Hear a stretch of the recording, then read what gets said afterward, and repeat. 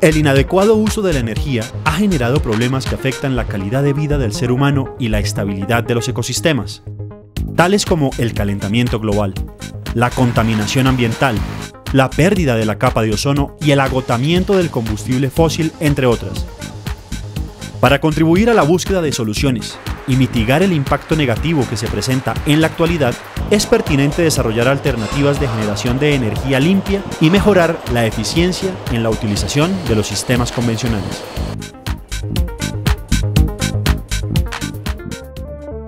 La Pontificia Universidad Javeriana considera prioritario apoyar las nuevas tendencias internacionales de la gestión energética. Los grupos que soportan estas actividades son los siguientes. Grupo de películas delgadas. Pues hemos contemplado varias líneas de investigación. Dentro de las últimas líneas hemos eh, desarrollado la línea de energías renovables, atendiendo uno de los escenarios que creemos son fundamentales en el siglo XXI, como es los procesos energéticos, su generación, su almacenamiento, su conversión y digamos finalmente su reutilización o reaprovechamiento.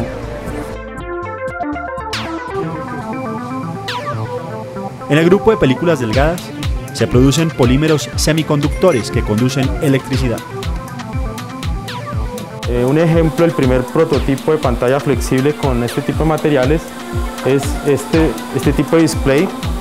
Es casi transparente, semitransparente, hace dos funciones, se puede usar en ventanas y además se puede usar como también fotodetector o un dispositivo para almacenar electricidad. Anteriormente trabajar un, hacer una celda solar o un diodo emisor de luz en Colombia era un sueño. Ahora es posible realizarlo con este tipo de materiales orgánicos y nosotros tenemos, gracias a nuestra formación, la tecnología y la experiencia para poder realizar este tipo de dispositivos en Colombia. Con temas energéticos de la investigación que hacemos es desarrollar dispositivos más eficientes energéticamente hablando.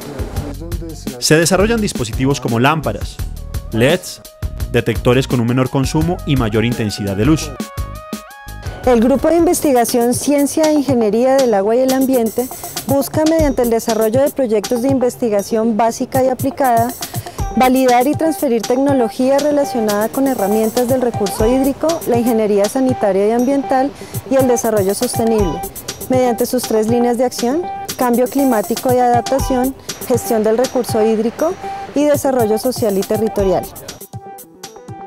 Dentro de los proyectos y servicios que se pueden prestar mediante la alianza Empresa-Investigadores, hay temáticas como los pronósticos hidrológicos, que son una herramienta para la toma de decisiones en proyectos de generación hidroeléctrica, adaptación al cambio climático, aprovechamiento de recursos hídricos como aguas lluvias, fluviales y residuales, tratadas mediante sistemas de humedales naturales o artificiales, y gestión integral de residuos sólidos para evitar la degradación en los servicios ecosistémicos.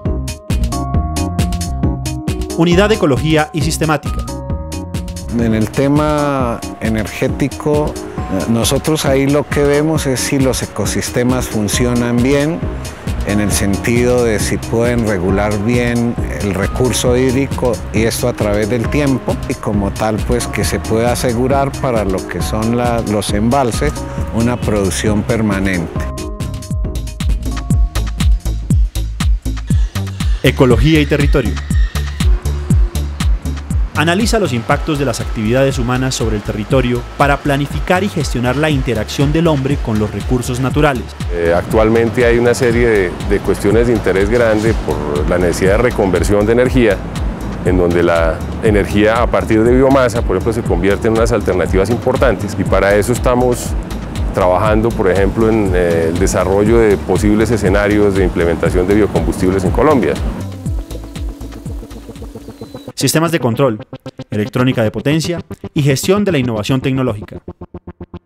Trabajamos en la conversión eficiente de energía eléctrica, bien sea proveniente de medios no convencionales o de medios convencionales como es la energía eléctrica, en ese sentido, continuamente estamos eh, viendo nuevos enfoques electrónicos de circuitos que manejen de una manera más eficaz, con menor tamaño y menor consumo de energía, estos tipos de, generación para que la energía generada se pueda aprovechar en mayor cantidad.